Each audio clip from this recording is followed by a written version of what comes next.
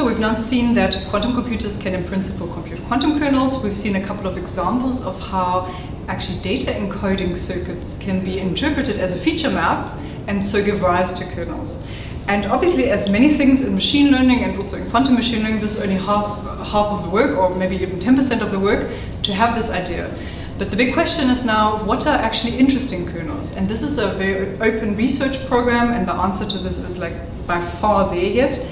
Um, but what is important is we have to think of two things here. Interesting kernels have to fulfill the property that they are analyzing, helping us to analyze a data set or to do pattern recognition in some specific data set very nicely, possibly better than like classical methods. And secondly, it would be very interesting if the kernel is in some way um, computable on a quantum computer to some advantage. So, for example, there could be an exponential speed up on the quantum computer in that the quantum kernel is intractably to do classically. So, in this case, you really need a quantum computer. However, in like this like area of near-term devices, it might also be already interesting if there's a constant speed up. For example, if the kernel is actually computed, like we saw with the squeezing kernel, if it could be computed with the speed of light, then we could have this little AI accelerator, which is my quantum computer, which just spits out kernel, kernels really, really fast. Um, so now, in the effort of like understanding what are good kernels, I want to like give you one more idea, which is extending the idea of quantum kernels by the idea of variational circuits. Um, most of you will know or probably have heard about variational circuits before. The idea is to make a quantum co uh, computer or quantum algorithm depend on parameters.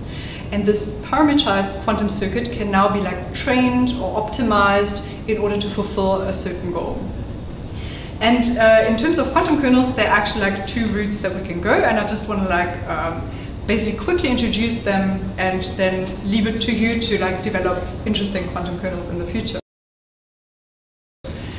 Um, the one idea is actually um, not so much related to the kernel, but to what comes after. We had before like the idea that the quantum kernel is computed on a quantum computer and then as classical information fed into a classical machine learning method. But we could actually also do the data analysis in feature Hilbert space because we have quantum algorithms that can analyze data. So in other words, we can use the quantum computer to embed the data and to analyze the data. And this is what the slide's supposed to like um, show, also like giving you just a little example. Um, we could now like use the state preparation routine that encodes X into the quantum state here. So at this sta stage, our quantum state of, of this whole register will be actually the quantum feature state. And now instead of like doing this with another part of the subsystem and computing inner products, we can actually um, use a variational circuit as a classifier, which means the circuit here or this quantum algorithm depends on some parameters theta and I can train the parameters theta to give us good results. So if we now have like the state preparation routine and now we have kind of the classifier routine that's learnable, how do we get a prediction out of our quantum computer? There's lots of uh, ways to do this, but like one very prominent example is I simply measure one qubit. So I measure the computational basis state of that qubit, is it in zero or one? And then I take like basically the expectation of the sigma z operator, so this is like basically the expectation if it's in zero or one, um, and use this to be to interpret this as the prediction of my quantum classifier. So what you see here is actually like in principle a complete quantum classifier on the quantum computer using the ideas of feature embeddings.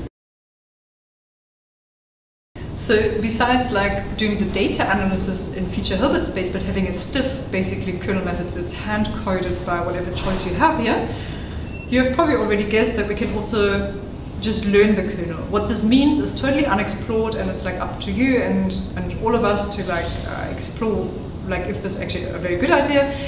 But on paper, the idea reads as follows. We just like, instead of having just a, the state preparation routine SX, which is hard coded, we make it also depend on a couple of parameters. This could mean, for example, that I encode my first feature with an Rx rotation and then encode, have a free parameter with another Rx rotation and learn that parameter in order to maybe like um, learn a certain feature map in this framework.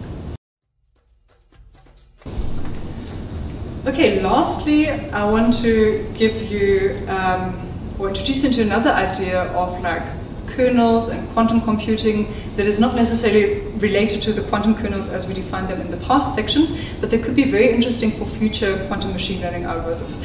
And the idea is basically from uh, the Rebentrost, Mohseni and Lloyd paper from like 2014 of the quantum support vector machines. And um, this will be a little bit more advanced, so if you're not very used to the notation of density matrices and tracing out, uh, maybe skip this section, so I give you just the, the general idea now. Um, the idea is that if we encode um, data states into quantum systems in a certain way, so entangled basically with an index register, what that is I will explain it just now, we actually automatically get a density matrix that describes our quantum system that is entry-wise equivalent to the kernel matrix. So what does that mean? If I use just a certain state preparation routine to encode my data set into a quantum state, and we look at the density matrix of that quantum system, we have the kernel Gram matrix. And this is very interesting because um, there are lots of tricks that show or have been shown that if we have a quantum system that represents this kernel Gram matrix, we can do all sorts of linear algebra on this kernel Gram matrix. For example, we can identify eigenvalues, do certain types of sampling, and very importantly, we can invert that matrix. Now, there has been a lot of controversial discussions if this matrix inversion, um, this is basically like very much based on uh, quantum principal component analysis. Some of you might have heard, heard about this trick. There's a lot of controversial debate if this is exponentially faster than doing it with a classical computer. And at the moment it looks like it's not.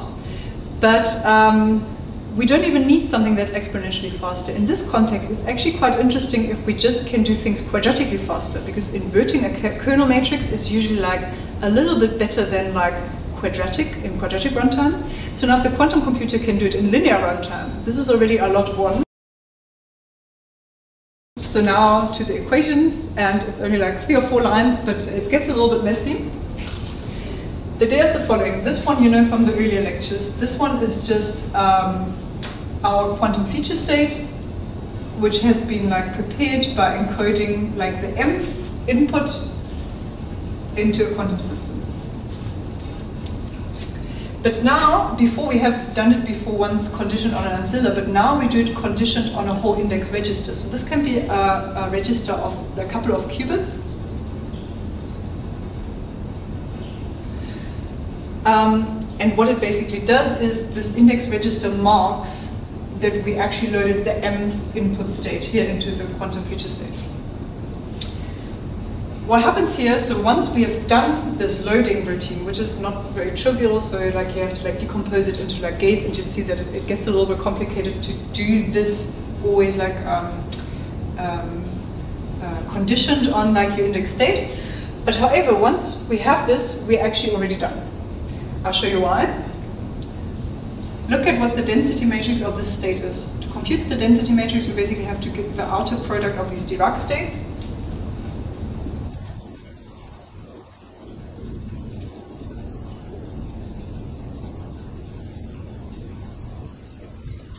So this is just me writing this state here as a density matrix. And now the magic happens if we trace out this subsystem. Let me, to make it very clear, like mark this with an I. So by tracing out the subsystem, which we can write like this, we actually get a state that looks as follows. Check the writer, yes.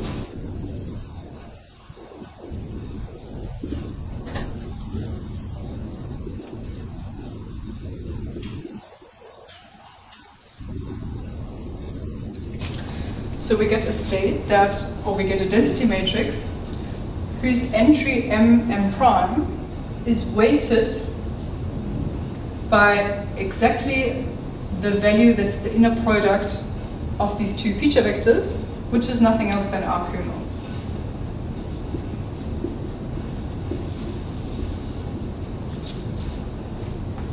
So let's call this sigma. So basically, sigma is a density matrix whose entry m m dash is exactly our kernel.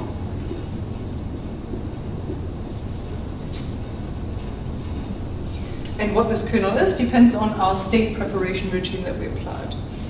And now, once we have the state like encoded into our quantum system, we can now do all sorts of shenanigans. And um, this is another topic that is like the basis of like further research and um, leads a little bit more. We probably need a slightly bigger quantum computers to use this trick, but this is a very interesting like idea that I also wanted to share with you.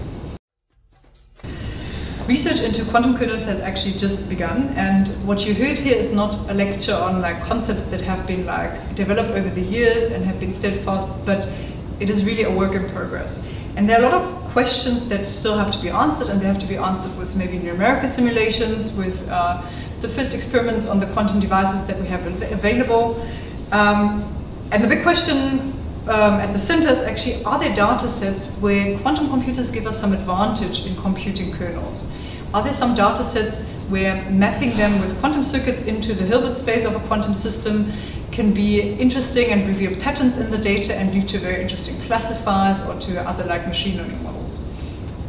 Lastly, a very interesting question would also be if there are kernels that quantum computers can compute but classical computers can't. So are they intractable but still interesting kernels? And with that, I'm saying goodbye from Durban and have fun with the rest of the course.